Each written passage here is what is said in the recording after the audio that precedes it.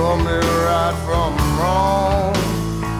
I ain't got much, but Papa.